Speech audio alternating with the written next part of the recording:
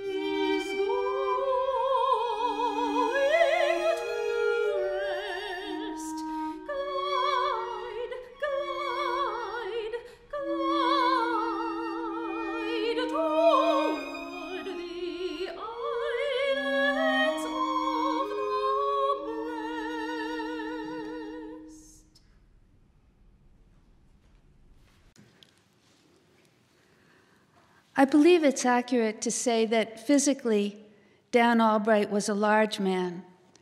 I begin by noting that because his spirit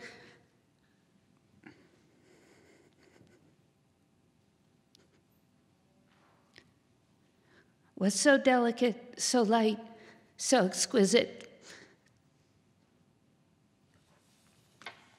that I often suspected he had come from the realm of the fairies in A Midsummer Night's Dream, not only the towering Titania and Oberon, but Peaseblossom, cobweb, mustard seed, and moth. I noticed that Larry mentioned his puckishness too. His strange mind and strange, beautiful voice made him seem otherworldly, and yet he could, like a dancer or like a moonlit moth, suddenly glide into another person's world and with a kind of antic grace and throaty laugh be fully present. Two pictures will stay with me forever. In the first, three people, Dan Albright, Werner Sollors, and I, are sitting in a tiny, cramped Barker basement cubicle listening to a brilliant PhD student, Seo-Young Chu, discourse on her dissertation research about science fiction. Seo-Young is delivering an extraordinary manifesto about lyricism in science fiction, about global souls and local bodies, about spaceship Earth and terraformed Mars, about robots and about robot rights. Seo-Young Chu has a tiny tiara of sweat beads on her forehead and is pouring forth cascades of ideas and examples until we are all, an hour and a half later, in a shared state of high hilarity. Out of nowhere and without preparation, Dan Albright has quietly risen from his chair, is now standing behind Seo-Young, and is scrutinizing her shoulder blades. Then, still inspecting her shoulders, he asks, Does Olympia have an off button? At that moment, our Barker basement cubicle positively lifted off the ground like a space capsule steered by our beautiful robot, Olympia. I first saw Dan Albright live and in person in 2002, but I had heard about this marvelous being since 1977 from Philip Fisher.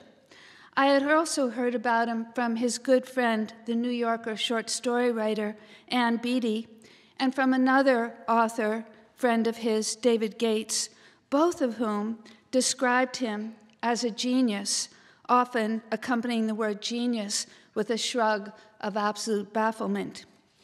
Dan Albright's first lecture at Harvard in 2002 was about music in Finnegans Wake. As I listened to him lecture, I realized that when my friends described him as a genius, they didn't mean I liked Dan Albright, though they certainly liked Dan Albright immensely. They meant Dan Albright is a genius. He delivered the lecture with passion, virtuosity, and in a state of ecstatic joy. Equally striking to me was the way during question period and on a day when he was encountering many of us for the first time, he answered each question in terms of the author the questioner most loved. Lawrence Buell wondered whether anything about music and Finnegans Wake could possibly be generalizable. Would an example from Thoreau do? Dan asked very sweetly and proceeded to provide a dazzling exegesis about musical Thoreau. I asked whether the specific account of music would only apply to certain forms of prose or also to poetry. Suddenly, and I don't know how this happened, I found he was no longer in the front of the room, but was standing beside me, in fact, his body was in a perfect, perfect perpendicular. His face was actually underneath mine, looking up at me.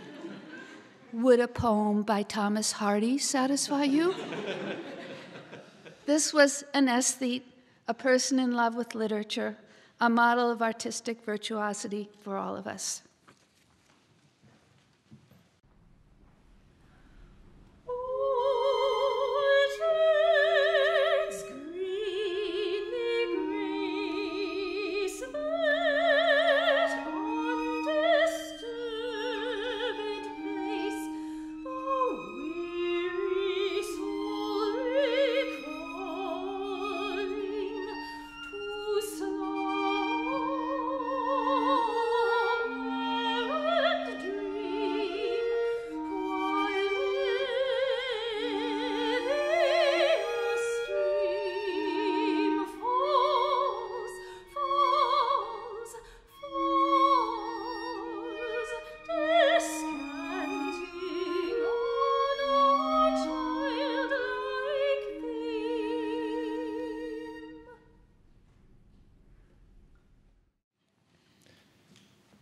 It's hard not to feel a sense of grateful wonderment when I think about how much I got to talk with Daniel Albright over the years. I remember the first time I spoke with Dan. He was Professor Albright to me then. I was an impressionable freshman at Harvard, enrolled in Dan's lecture course, English 10B, British Literature Part 2, roughly from Pope to the 20th century. For Dan, this course was anything but a routine survey. Rather, it was the chance to tell the world's most exciting and wonderful story the story of literary history and the artistic imagination. Intoxicated by his dazzling interweaving of literature with music and the visual arts, I dared to visit his office, and I knocked gingerly on the door. Professor Albright peered out at me. Come in, he said. Excuse me, Professor Albright, I said, and with great self seriousness proceeded to explain that I wanted to emulate him by making a career as an academic studying English and music. Do you have any advice for how to build such a career? I asked, with a lamentable lack of self consciousness. Dan might have done many things. He might have laughed at my presumptuousness or offered some easy platitude. But Daniel Albright cared too much about his students to laugh about their dreams, however fanciful or grandiose. And I don't think he was a man who uttered a platitude in his entire life. No. Professor Albright leaned back in his chair and looked across at me with that wonderful gleam of his, at once gently owlish and imbued with a secret laughter, and said, Follow your whims. I thought the advice less than practical at the time. but as I grew older, as Professor Albright became Dan and welcomed me back into graduate study in literature and music, a path on which he was my trusty guide and warm hearted mentor. His advice came to mean more and more to me. I've told some of you this story before, but I wanted to repeat it today because it evokes not only Dan's patented blend of whimsy and seriousness, his unmitigated joy in his profession, but also the profound respect and generosity he showed a bumbling, enthusiastic freshman to set him on his way. For Dan had, for all of his students and for all his friends, a limitless fund of generosity and care. I'd like finally to say of Dan, as Sabatini said of his dashing, cerebral, impossibly gifted hero in Scaramouche. He was born with the gift of laughter and a sense that the world was mad. Or not for Dan, mad exactly, but full of whims to be followed and full of beautiful, strangely interconnected things to be laughed and wondered at.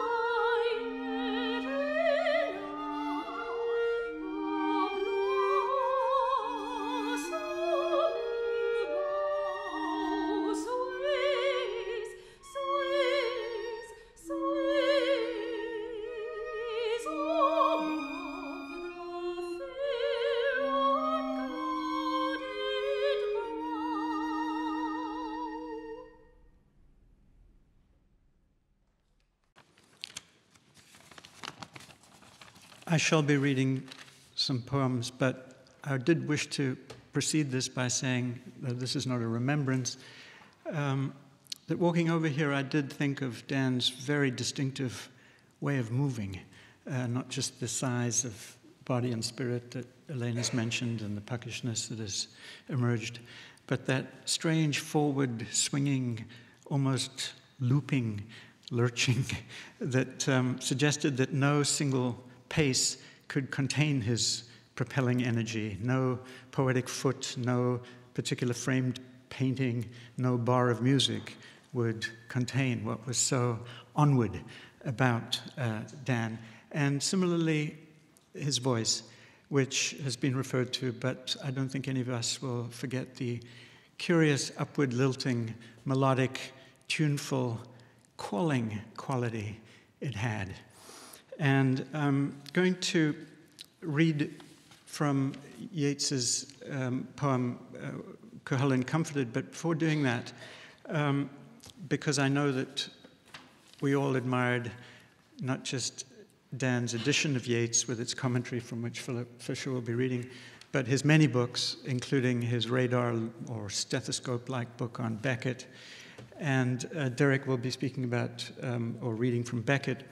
And so I'd like to just close the poem The Tower, which of course gave Beckett his title for a late radio play, But the Clouds, and actually gave Beckett his last four lines. Now, shall I make my soul, compelling it to study in a learned school, till the wreck of body, slow decay of blood, testy delirium, or dull decrepitude, or what worse evil come, the death of friends, or death of every brilliant eye that made a catch in the breath, seem but the clouds of the sky when the horizon fades, or a bird's sleepy cry among the deepening shades.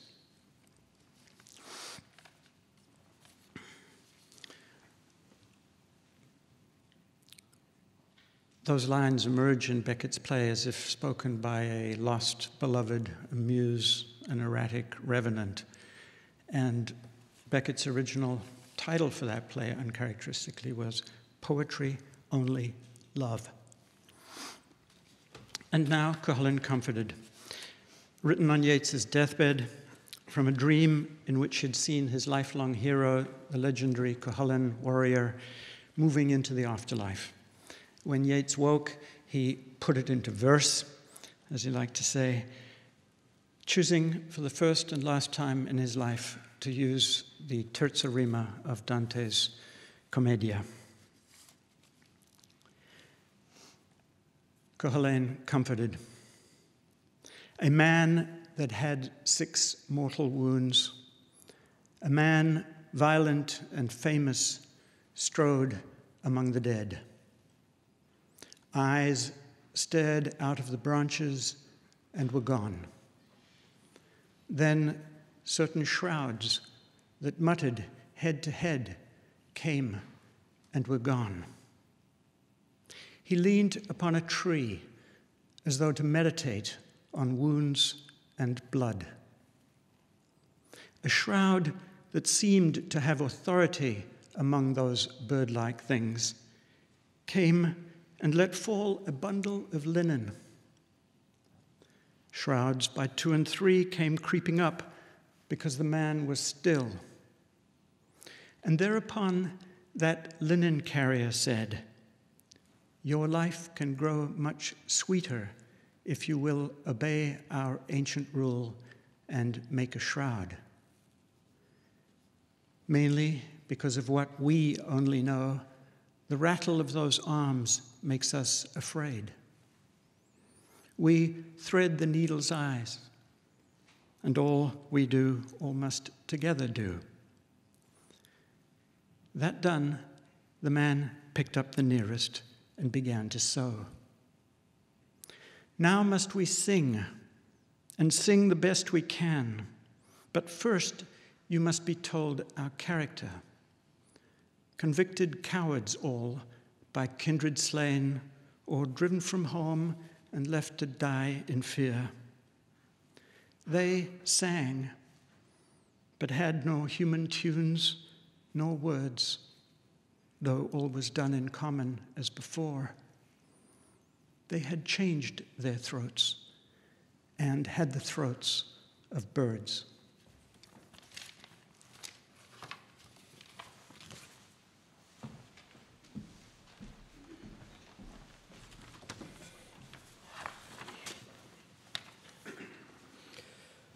Nacht und Träume by Samuel Beckett. Elements. Evening light. Dreamer A. His dreamt self B. Dreamt hands R right and L left. Last seven bars of Schubert's Lied Nacht und Träume. 1. Fade up on a dark, empty room lit only by evening light from a window set high in back wall. Left foreground, faintly lit, a man seated at a table, right profile, head bowed, gray hair, hands resting on table. Clearly visible only head and hands and section of table on which they rest. Two. Softly hummed, male voice, last seven bars of Schubert's und Träume. Three. Fade out evening light. Four, softly sung with words, last three bars of Lied beginning Holde Träume. Five, fade down A as he bows his head further to rest on hands. Thus minimally lit, he remains just visible throughout Dream as first viewed. Six, A, dreams. Fade up on B on an invisible podium about four feet above floor level, middle ground, well right of center. He is seated at a table in the same posture as A, dreaming, bowed head resting on hands, but left profile, faintly lit by kinder light than A's. Seven, from dark beyond and above B's head, L appears and rests gently on it. Eight, B raises his head, L withdraws and disappears. Nine, from same dark, R appears with a cup, conveys it gently to B's lips, B drinks, R disappears. 10. R reappears with a cloth, wipes gently B's brow, disappears with cloth. 11. B raises his head further to gaze up at invisible face. 12. B raises his right hand, still gazing up, and holds it raised, palm upward. 13. R reappears and rests gently on B's right hand, B still gazing up. 14. B transfers gaze to joined hands. 15. B raises his left hand and rests it on joined hands. 16. Together hands sink to table and on them B's head. 17. L reappears and rests gently on B's head. 18. Fade out dream. 19. Fade up A and evening light. 20. A raises head to its opening position. 21. Lied as before, 2. 22, fade out evening light. 23, close of Lied as before, 4. 24, fade down of A as before, 5. 25, A dreams. Fade up on B as before, 6. 26, move in slowly to close up of B, losing A. 27, dream as before, 7 through 16, in close up and slower motion. 28, withdraw slowly to opening viewpoint, recovering A. 29, fade out, dream. 30, fade out, A.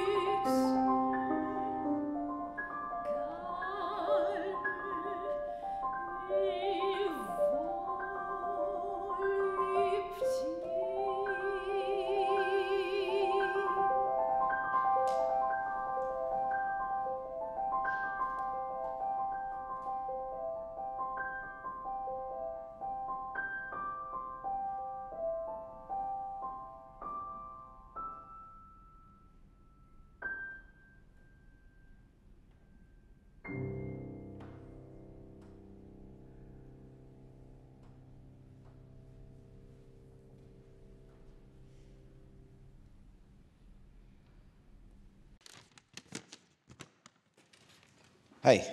Um, for those of you that have never met me before, I'm, I'm Chris. I'm Dan's son. And I'm really happy that my dad meant so much to all of you that you would come out for this. This really, it really makes me really happy. Um, I know that there's probably not a lot I can tell you about my dad as an academic or my dad as a scholar that you guys don't already know. But I can tell you a little bit about what it was like to grow up with, uh, with Daniel Albright as a father. As I'm sure many of you know, either with your own parents or your own children, uh, having an academic as a parent can be a really amazing and enriching experience. Not least just for the sheer volume of time the academic schedule allows you to, to share together. Um, unlike my friends whose parents were working, you know, five days a week full time all year round, especially over the summer, I got a lot more access to my dad than I get to spend a lot of time with him and really get to know him. And sometimes, I mean, I'm sure you all know Dad's uh, sense of humor. Sometimes my friends would come over and he would have gotten all of his work done, all of his writing done in the morning, and they'd ask him, Mr. Albright, how come you always get to be home? I never get to see my dad. And he would just always respond joking that, like, oh, I'm unemployed. he would just tell my friends that, uh, like, oh, I don't, I don't have to go to work. And I mean, of course, this is funny to you because you all know him as uh, just prodigiously productive scholar who worked tirelessly. But he would just, he would get over the summers and on non class days, he would just get up in the morning and get two days' work for most men done in four hours, and then spend his afternoons listening to opera, listening to music and reading, and or over the summers taking me to museums and zoos. See, to me, my dad's greatest quality was his real sense of wonder about the world around us. I mean, I know that many of you have also pointed out the same thing. Dan found the world to be an exciting, fascinating place to be explored and discovered. And I was really lucky to get to spend as much time as I did discovering that world with him. Um, from taking me to playgrounds as a toddler to zoos and museums, which is something we never stopped doing together, um, to trips abroad. So much of my current life and worldview were shaped by the time I got to spend with my dad. Um, and of course, as a man who was versed in so, in so many subjects, um, conversation was just an endless source of fascination for me. We would go on long driving trips together. Like over the summer, we would just take a take a trip down to Washington D.C. to see all the great museums, and um, uh, just really experience things together. We'd go to Toronto and New York, and I could, we could just spend the whole way. We wouldn't even need to listen to the radio. Um, I just say, Dad, tell me about the Renaissance. And, and I would get the lectures that I'm sure that many of you, as his students, would, would have experienced. I would just get that as sort of a long form, long form conversation. Um, I mean, one of my one of my favorite trips that we took together was to Austria and Hungary when I was 11, and we stayed in Vienna and got to see all the amazing sights of the old world, the forgotten empire, and as uh, we went to see an exhibition of the art of uh, Gustav Klimt, and got to spend time at the Viennese Zoo, and while there we befriended a magpie that flew over from the cage while we were sitting down and started barking at us like a dog, and we just started barking back. And to this day, mean, we would still joke about it and, uh, and laugh at those memories. It was really a great trip. Um, we joke about that crazy bird even, even years later. And of, of, course, we'd always go and visit the local zoo. That was part of our tradition. Um, but the lessons I took away from growing up with a dad like that have really stayed with me to this day and drive me forward in very positive directions. And I hope that um, in the ways that you've known my father, that he's also had a good influence on you as well. And he showed me the world was, a, was a really amazing place and gave me a global perspective at a very young age. Um, well, you know, I really couldn't, I just want to close by saying I really couldn't have asked for a better father.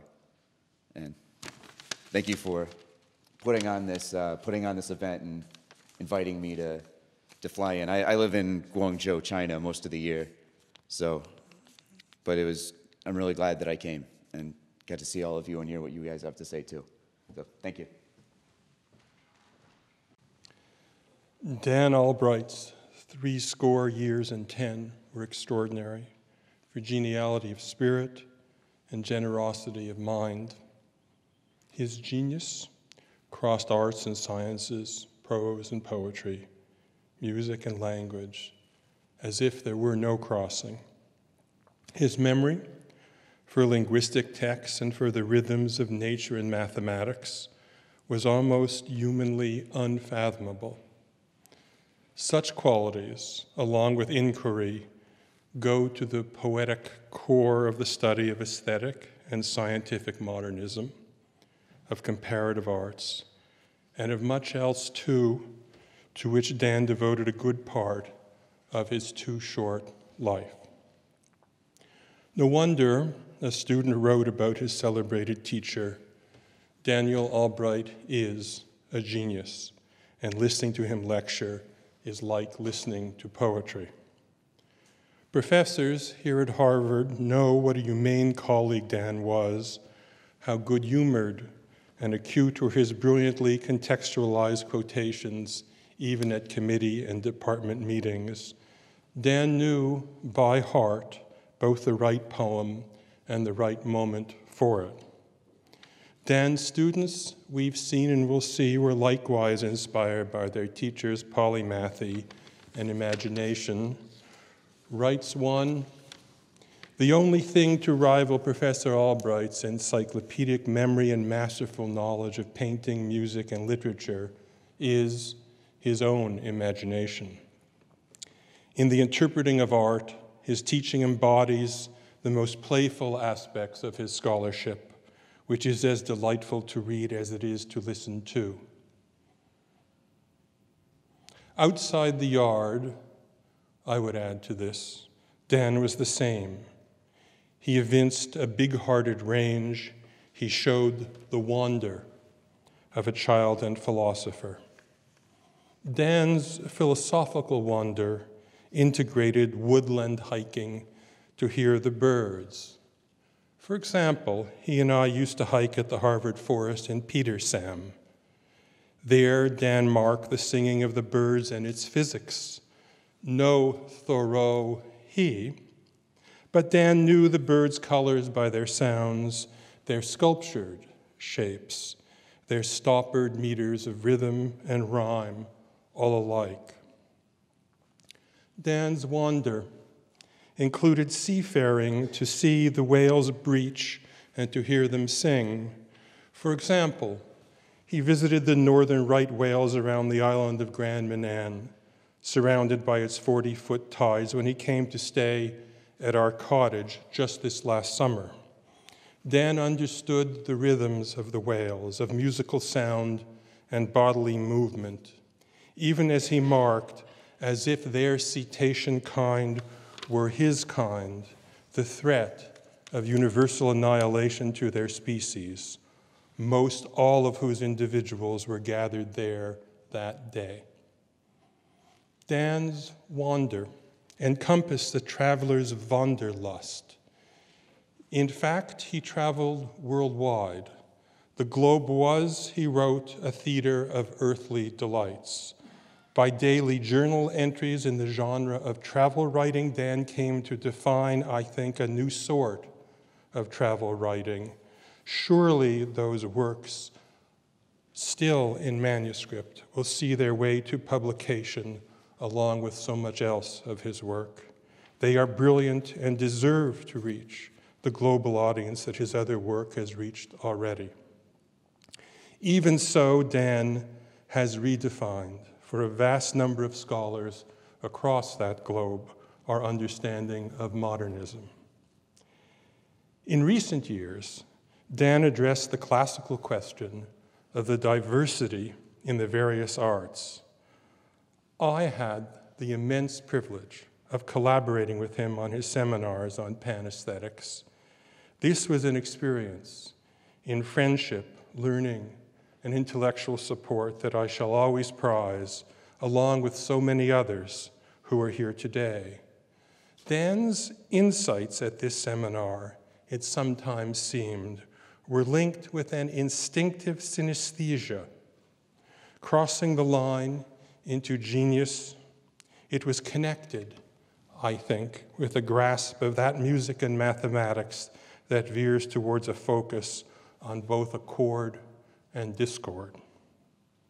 In his latest years, Dan became partly and increasingly deaf. That deafness was a debility. A debility whose upside he wrote about. He turned partly thus to the brilliance of the last string quartets of Beethoven, and in class as in seminar, knew by touch as well as by sound the strings and the hammers of the piano he played. One student writes, When I came to class and Professor Albright played the piano, read a poem aloud, and showed a painting, I thought that this was exactly what a real course should be. Dan's three score years and ten were full of life beyond the university and the arts. He spoke about his family with a definite pride and love for his accomplished son, Christopher, as well as for his wife and partner. Dan's own poetry shows a life of parental kin. Dan's further families of a kind include his undergraduate alma mater, Rice, where from he graduated and Yale, where he received famously both the MA and the PhD in only two and a half years, including taking all the courses required.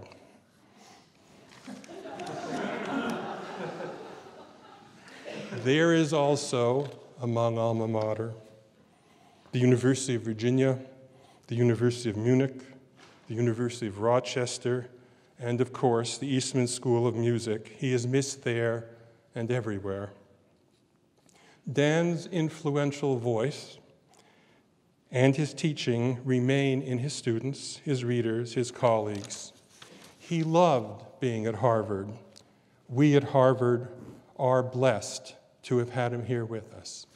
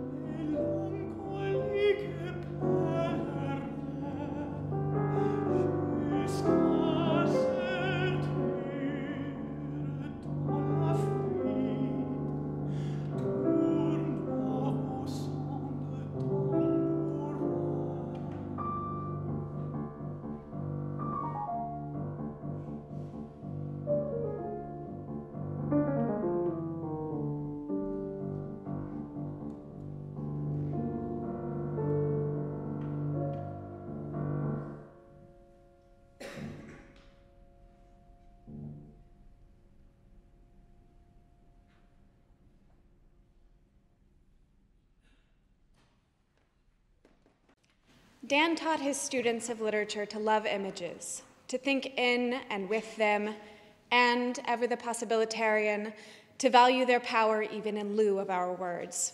He was always genuinely and contagiously delighted to receive a Dada performance or an acrylic painting turned in as an assignment. His iPad was a messy, genius treasure trove of paintings and illustrations in JPEG. He would root through to try to find exactly the right thing to say, and then say it wordlessly and perfectly. There's a remarkable passage in the beginning of the final chapter entitled Heaven of Dan's book Untwisting the Serpent that we felt conveyed the total, unbidden joie de vivre of looking at an image with Dan. We circulated the passage to some friends, colleagues, and advisees of Dan's and asked them to illustrate their own version of what they saw. Rebecca will read the passage, and then we will display the images we have been so grateful to receive. I don't have confidence in visions, and I don't believe in heaven. But when completely sober, I once had a vision of heaven. It consisted of two parts a sentence and a picture, a picture that kept changing. This was the sentence In heaven, when a bird flies from a bush to a tree, the bird is on the bush and on the tree and everywhere in between. The picture showed a bush and a tree, both consisting of puffy scrawls carelessly colored with green and brown crayon in the way that a happy child draws such things. But the bird, a combination of quetzal and macaw, seemed to be painted in oils with a kind of day glow sheen. The left half of the bird sat on a branch of the bush, the right half sat on a branch of the tree, and between the two halves was a polychrome streak, which shimmered and twisted as I watched. Then the bird flew away to some other heavenly destination, leaving another track of iris on the air behind it and soon the crisscross of bird tubes covered my whole field of vision.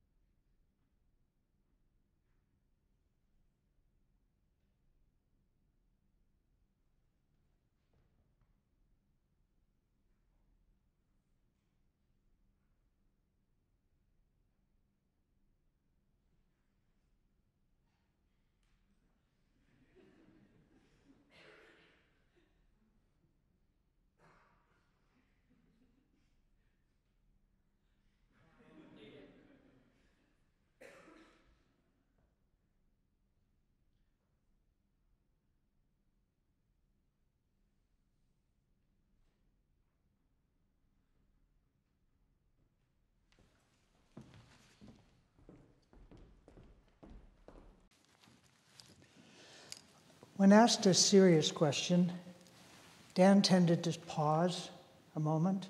I sometimes imagined he was taking out an imaginary lectern and stepping up two steps.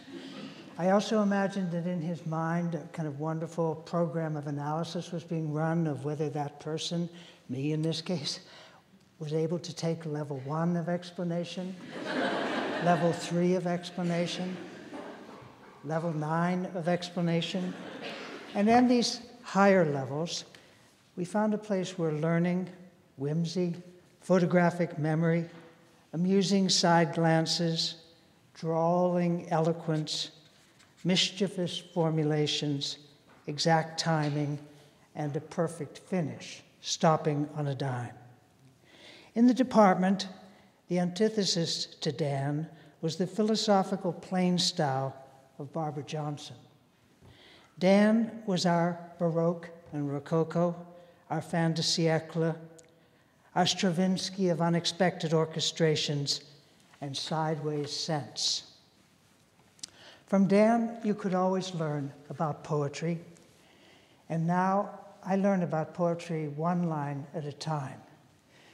This year, the line, he disappeared in the dead of winter. The generosity of initial pronouns in the poem, he or she walked in beauty, permits later experience to enter easily in, new, more intimate cases to be felt to the subject of the poem itself. And of course, the weight of Auden's mysterious word disappeared.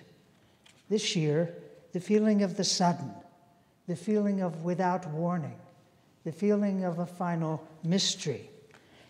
And then the moving of the expected word sideways to hide in the phrase, the dead of winter.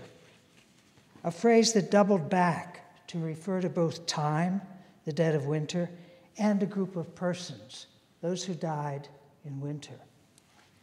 When Dan and I were in our first months as new assistant professors in Virginia some years ago, we had offices against, across the hall at the end of a long corridor. These final years, we've ended up with offices across the hall at the end of a long corridor where the chair of the department is in exactly the same position as many years ago in Virginia. Dan's fast, tall, long stride up that hall made him seem fluid to me like a fast stream, and I thought he had an invisible cape held in the air behind him the cape of Oscar Wilde, not Superman. Dan, with his half giggle, half mischievous laugh, kept promising to invite me over for a drink and added, But there's no furniture. One afternoon he said, I bought the furniture. When we got to the door of his modern apartment, he pointed inside the furniture a long black leather couch alone in a spacious room. The rest of the furniture was on the kitchen counter two large cups, good for coffee, tea, wine, breakfast, cereal, soup. We sat at either end of the center of the room on the black furniture, cups in hand, and laughed. For someone who's written so many books, Dan had also in reserve an esoteric book, published and then unpublished, swept from the bookshelves, his edition of the poems of Yeats. This part, Yeats, this part is line by line commentary with wonderful mini essays by Dan Albright on every topic in Yeats. I want to read you two brief passages from that commentary. And of course, it's wonderful to always be taught about something that you think you know. So I'll read you his commentary, part of his commentary on Yeats's The Mask. A man cannot be judged, cannot be defined and dismissed if he cannot be located in the first place. And the mask permits an endless dissembling of identity. He will play with all masks. Quote from Yeats. A face might be vulgar, disfigured, but a mask was distinguished, shapely, the only escape from the money changers. Love presented an important test case for the doctrine of the mask, for it multiplied by two the number of participants in the love affair he, she, his mask, her mask. One benign application of mask theory could be observed when lovers played roles in order to help one another to realize their noblest selves. It seems to me, this is Yeats, that true love is a discipline. Each lover divines the secret self of the other, and refusing to believe in the mere daily self creates a mirror where the lover or the beloved sees an image to copy in daily life. For love also creates the mask. Thus, lovers can improve one another's being by a complex rite of inter imitation. He wears the mask of her best self, and she of his, so the live faces under the masks find a continual model for self reshaping, face lifting. But the poem The Mask describes a more sinister situation. Here, the man is not a wise fellow who divines the best self of his beloved and helps her to realize it in daily life. He is instead deceived and anxious, blind to all but the narrowest spectrum of his beloved. Here, the woman is not a sympathetic, loving soul, but a Salome who has carefully shielded herself in artifice and allows no one a glimpse within. Here, the mask is not a felicitous ideal, but a dazzling screen. And now, one shorter excerpt Dan on birds in Yeats. He's annotating the phrase a cockerel. Yeats's poem is full of birds' cries. See a memory of youth. The crowing of this cock signifies a shriek of orgasm and the soul's sh- sudden shock of receptivity to something beyond life and also the end of the world. For another eerie cock, even more difficult to please, see Byzantium, line 20. In an image from a past life, a bird's or beast's scream signals the approach of a sweetheart from a former incarnation. In my table, Juno's peacock screams to announce the end of an era, and in Under Ben Bulben, the sage's speech sets the cocks a crow. In all these instances, a bird's cry heralds historical or personal upheaval. For other transcendental cockadoodle doos, marking divisions between epochs, see the Adoration of the Magi, where an old man announcing the end of the Christian era suddenly crows like a rooster. And an essay on Berkeley, where Yeats wrote of the morning cock crow of our Hellenistic age. Less spectacular cock crows can be found in the juvenile Mosada, 2, line 29, a song about Peter's denial of Christ, and in the Dreaming of the Bones, lines 105 and 308, where a cock's crow will dispel the specters of the night. Yes, dispel the specters of the night. Thank you, Dan.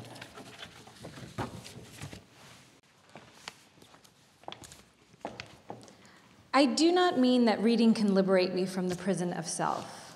I can't transfigure myself into Abraham Lincoln or Abraham Lincoln vampire hunter or Madame Bovary. Not that that notion of becoming a fictitious character has much meaning in any case, though I have read of a woman who hired surgeons to give her the physique of a Barbie doll. I mean that I experiment with the person who I would be if I thought the thoughts that Flaubert ascribes to his character or to himself. And I experiment with the flushes and darkenings of body that Flaubert and I co imagine for Madame Bovary. A body influenced by many things, including lurid images from 19th century paintings, postures that Flaubert devised for his Herodias, and certain sensualities of mind that seemed plausibly female in nature. Ultimately, as a result of months and years of these experiments in alterity, I turn into someone else. The motto of every reader is Arthur Rimbaud's Je est un autre. I is another. But as a member of a group, and I belong to many groups, including Americans, white males, professors at politically liberal universities, scuba divers, atheists, and clumsy oafs, I use these fictitious alternative selves to explore both how to affiliate myself more deeply with my group and how to challenge that affiliation. Any sentence I read is a sentence I can imagine myself having invented. And so I become, for a moment at least, its author. I make myself by authorizing some sentences and refusing to authorize others. I don't know whether I'm more enriched by the body of what I submit to or the body of what I reject. Each is part of my general machine à penser. Those who read much tend to be amateurs of the human.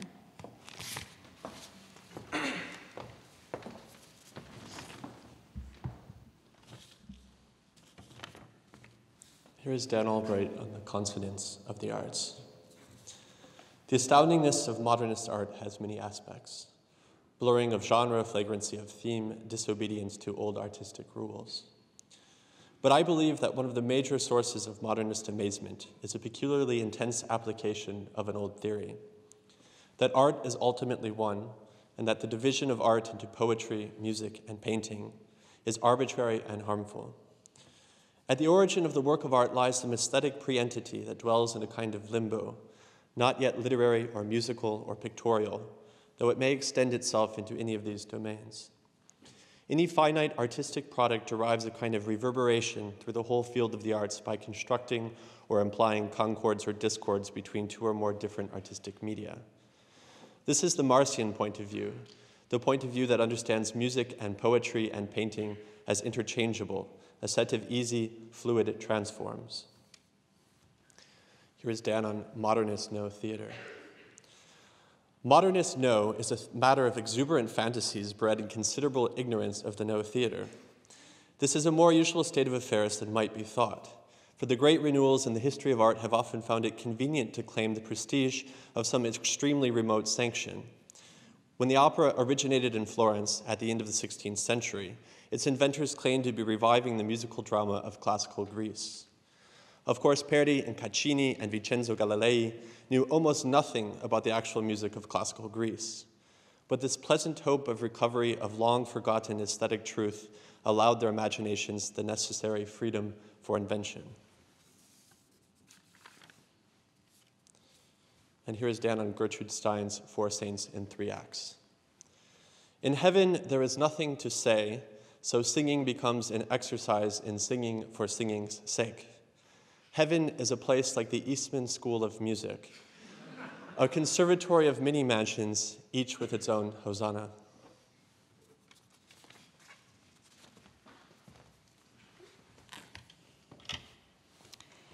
So a dance can embrace everything governed by the muses, all musicae, and death and resurrection. A dance is a response to music and a making of its own music, figuratively or even literally, as in the case of tap dancing, or in the case of a dancer I once saw who strapped transducers to her own joints so that every swivel of hip or flexion of wrist created a specific sound generated by a computer program.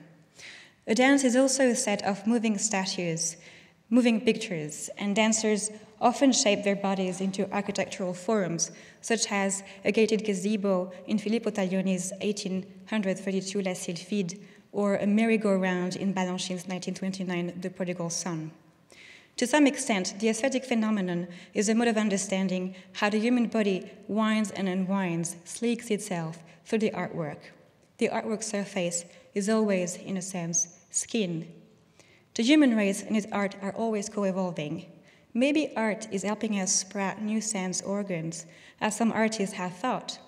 Here is Ezra Pound in 1921, and I quote Let us suppose man capable of exteriorizing a new organ, horn, halo, eye of Horus. Given the brain of his power, comes the question what organ and to what purpose? End of quote.